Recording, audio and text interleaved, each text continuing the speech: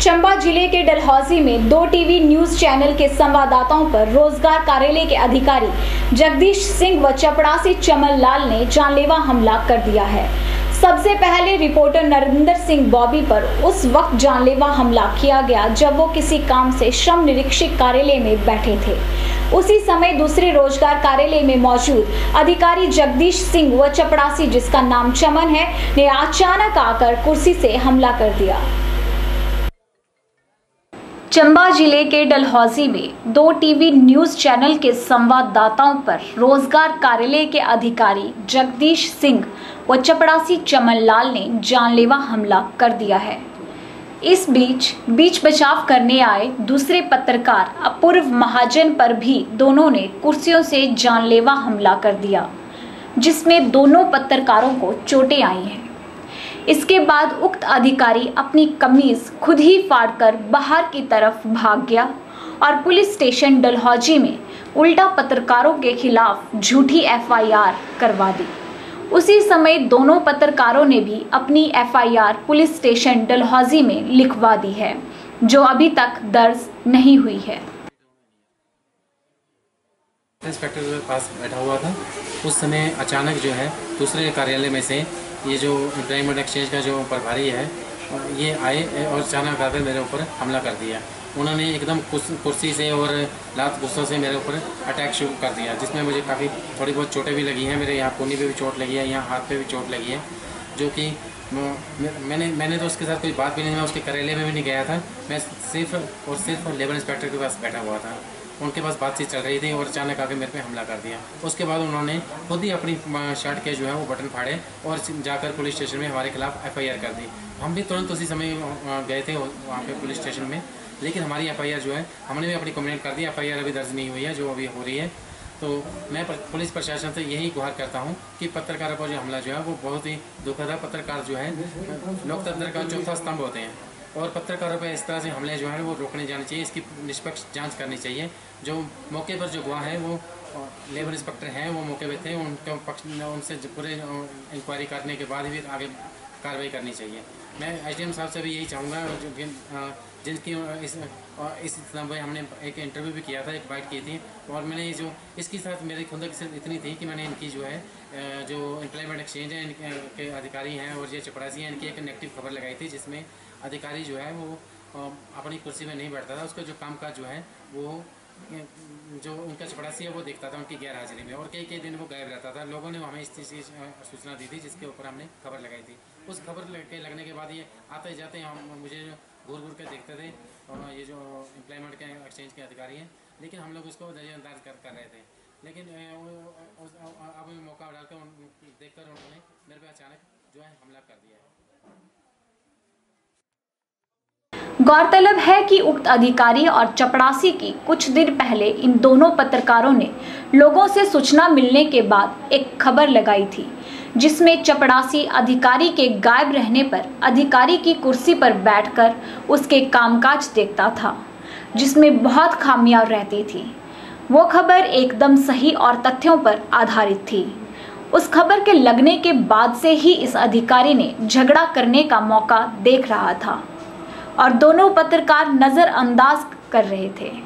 जब पत्रकार अपूर्व महाजन द्वारा उक्त कार्यालय में मांगी गई, एफआईआर के तहत रजिस्टर का निरीक्षण कर रहे थे, जिसमें बहुत सी खामियाँ निकल रही थी, इस पर बौखलाकर इस अधिकारी ने सबसे पहले दूसरे कार्यालय में जाकर वहाँ मौजूदा नरेंद्र सिंह बॉबी पर कुर्सी से हमला कर दिया।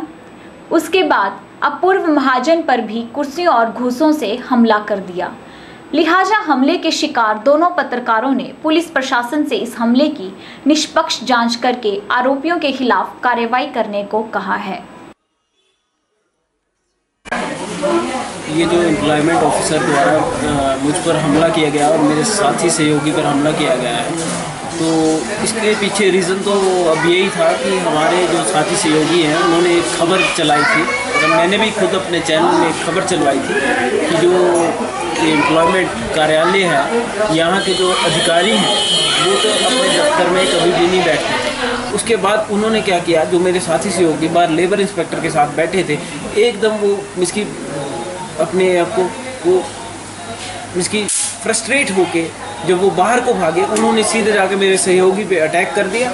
जब इस संदर्भ में मैं वो लड़ाई छुड़ाने गया तो उनके और उनके पीएन द्वारा मेरे पे कुर्सियों से वार किया गया। और इस संदर्भ में जब हम वो अपनी वो अपनी शर्ट के बटन तोड़ के एकदम पुलिस स्टेशन भाग गए, जबकि पुलिस स्टेशन 100 मीटर की दूरी पे तो जब पुलिस स्टेशन भाग गए तो हम उनके पीछे पीछे बिल्कुल उनके साथ साथ पुलिस स्टेशन पहुँचे। तो अभी तक हमारी कोई भी एफआईआर लॉन्च नहीं की गई, बल्कि उनकी एफआईआर लॉन्च की गई मैं प्रशासन से यही गुहार लगाता हूँ कि जो भी आरोपी हों उन पर कड़ी से कड़ी कार्रवाई की जाए। डलहौजी में जो हमारे दो भाइयों पत्रकारों पर हमला हुआ है बहुत ही निंदनीय है जिसकी मैं निंदा करता हूँ कि पत्रकारों पर हमला एक लोकतंत्र पर हमला है। ऐसे हमलों को रोका जाना चाहिए। अहम है कि मीडिया लोकतंत्र का चौथा स्तंभ है। पत्रकारों पर हमला लोकतंत्र पर हमला है। देश को यदि मज़बूत रखना है तो पत्रकारिता को मज़बूत बनाए रखना होगा। डलहौजी में जो पत्रकारों पर हमला हुआ है, मैं उस हमले की कड़ी निंदा करता हूँ। पत्रकारों पर हमला, लोकतंत्र पर हमला है तो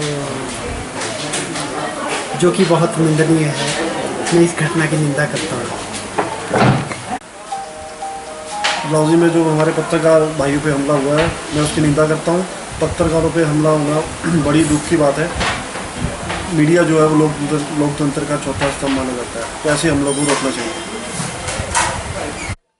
पत्रकारिता समाज का दर्पण है। पत्रकारों पर हमला होना बहुत दुखद है। इससे लोकतंत्र की जड़ कमज़ोर हो जाएगी। सही मायने में लोकतंत्र के सबसे बड़े रक्षक पत्रकार ही हैं। वे छोटी से छोटी समस्याओं को शासन प्रशासन के सामने रखते हैं। और आरोपियों के खिलाफ ऐसी कार्रवाई होनी चाहिए, जिससे कि आगे कोई पत्रकार ही नहीं, बल्कि किसी के ऊपर हमला करने की हिम्मत ना करे। एक्चुअली मैं मैं इधर काम कर रहा था अपना, आधिकारिक कंप्यूटर पे कार्य कर रहा था। और, उस टाइम मेरे सामने यहाँ पे इस सीट पे जो है, जहाँ से लगती हमारी बॉबी जी है कैंटस हैं मैं उनको जानता हूँ वो बैठे हुए थे। तो इन बिटवीन जब मैं कार्य कर रहा था तो अचानक सडनली जो है अंदर से इंचार्ज साहब आए आवेश में जैसे दिखे कुछ मेरे को और उन्होंने बॉबी जी को पकड़ लिया और उनके ऊपर जो है ना हाथापाई कर दी उनके साथ। अच्छा। और साथ में उनके पीएन भी उस, उसके बाद बाहर आए। फिर आपस में इनकी लड़ाई हुई एक लड़का कोई और था अंदर। वो भी बाहर आया फिर चारों की इनकी आपस में लड़ाई हुई और इंचार्ज साहब ने इनके ऊपर चेयर से चेयर उठा के इनके ऊपर हमला किया और इनकी आपस में हाथापाई के कारण मेरे ऑफ़िस की चेयरें भी इधर उधर पड़ी हुई हैं जैसा कि आप लोग देख ही रहे हैं। और उसके पश्चात इंचार्ज साहब यहाँ पे खड़े थे और उन्होंने अपने शर्ट के बटन फाड़े और यहाँ से बाहर निकल गए। ये बॉबी सिंह भी पहले अंदर थे क्या? नहीं बॉबी सिंह जी मेरे पास बैठे वो आपके पास ही बैठे हाँ। जी अंदर क्या हो रहा था इस विषय में मैं मालूम नहीं क्योंकि अंदर ऑफ़िस अलग है ये मेरा ऑफ़िस है। ठीक है नहीं बॉबी सिंह अंदर गए थे या उससे पहले? बॉबी सिंह यहाँ पे बैठे हुए थे। अंदर नहीं गए। अंदर नहीं मतलब गए यहीं बैठे हैं। साहब बाहर आए और उन्होंने सीधा जो है आवेश में जैसे दिखे मुझे और सीधा उन्होंने बॉबी बॉबी को चैनल के लिए डलहौजी से बॉबी सिंह की रिपोर्ट।